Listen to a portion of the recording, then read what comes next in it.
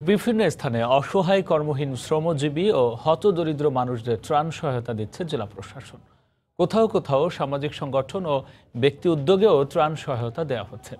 আমাদের ব্যুরো প্রতিবেদক ও জেলা প্রতিনিধিদের পাঠানো তথ্য, ছবি নিয়ে দেখুন রিপোর্ট। মানবিক সহায়তা কেন্দ্রের মাধ্যমে অসহায় ও কর্মহীন মানুষদের খাদ্য সহায়তা দিচ্ছেন ভোলার তজুমুদ্দিন উপজেলার ভাইস চেয়ারম্যান মহিউদ্দিন পোদ্দার। সামাজিক দূরত্ব বজায় রেখে চাল, ডাল, আলু ও তেল সহ প্রয়োজনীয় খাদ্য সামগ্রী দেওয়া হয়। সামাজিক দূরত্ব বজায় রেখে পটুয়াখালীতে শতাধিক প্রতিবন্ধী ও ভিক্ষুকদের খাদ্য সহায়তা দিয়েছে পুলিশ। দশ কেজি চাল, পাঁচ কেজি আলু, দুই কেজি ডাল ও এক কেজি করে পেঁয়াজ সহ খাদ্য সামগ্রী দেওয়া হয় তাদের। টাঙ্গাইলে বেদে ও হিজড়া সম্প্রদায় সহ কর্মহীন অসহায় ছয় হাজার পরিবারকে খাদ্য সহায়তা দিয়েছে সিটি ব্যাংকের টাঙ্গাইল জেলা শাখা।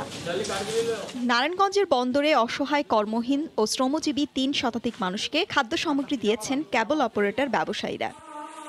কুমিল্লার নাঙ্গলকোট উপজেলার দরিদ্র ও মধ্যবিত্তদের মাঝে খাদ্য সামগ্রী বিতরণ করে পাবলিক বিশ্ববিদ্যালয়ের শিক্ষার্থীদের স্থানীয় সংগঠন সংসপ্তক বাড়ি বাড়ি গিয়ে খাদ্য সামগ্রী পৌঁছে দেন স্বেচ্ছাসেবীরা।